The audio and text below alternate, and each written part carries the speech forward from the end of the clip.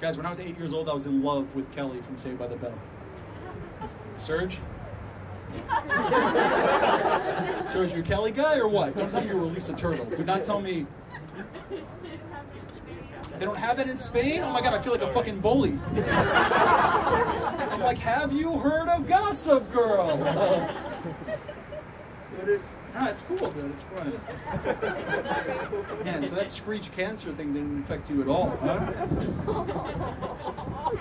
Shouldn't understand. You shouldn't understand. You shouldn't understand that one either. I was obsessed with Kelly, man. I was obsessed. I was eight years old. I was obsessed, but she was 18 in the show. That wouldn't have been appropriate.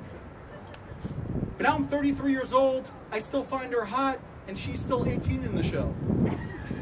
Also inappropriate.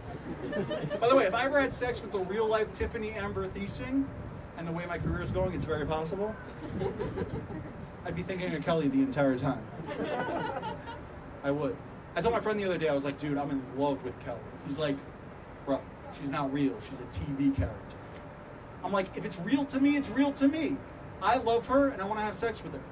He's like, dude, that's gross. She's a teenager. I'm like, dude, she's not real. It's a TV character. Let's calm down, dude.